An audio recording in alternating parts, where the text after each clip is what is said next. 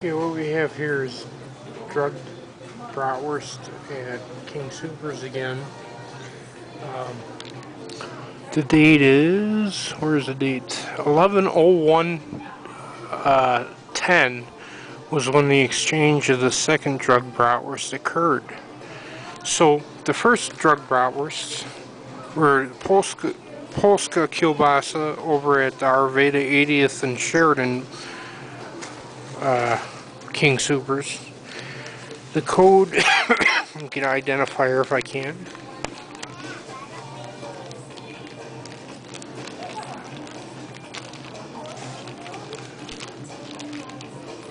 Not finding an identifier. Oh, there it is. It's in black.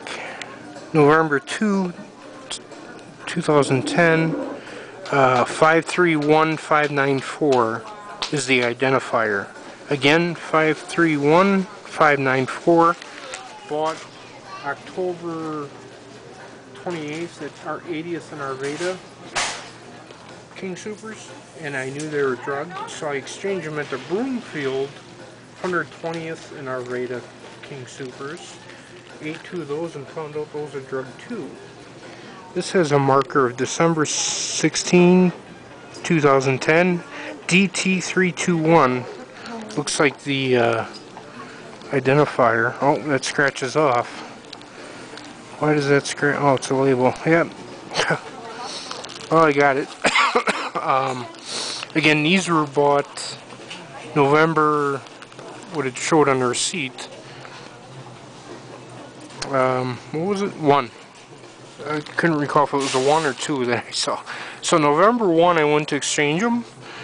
And Virginia Newbon's whole game is that, and this is all done in mockery of the complaint, she's watching my email by illegal surveillance, so she does it after the complaints go out to show me there's nothing I can do and nothing, nobody's going to bust her because she's so high up the NSA totem pole.